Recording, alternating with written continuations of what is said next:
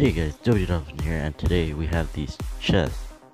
So, we're gonna open them.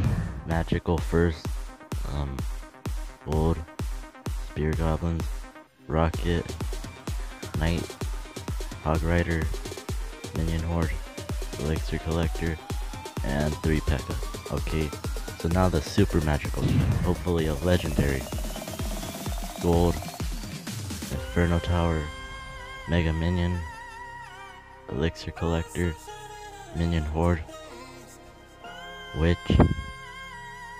Goblin Barrel, and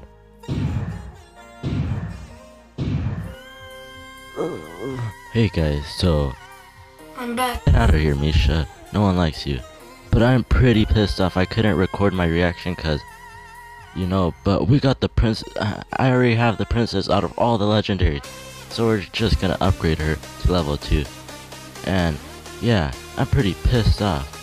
And plus, um, what's it called?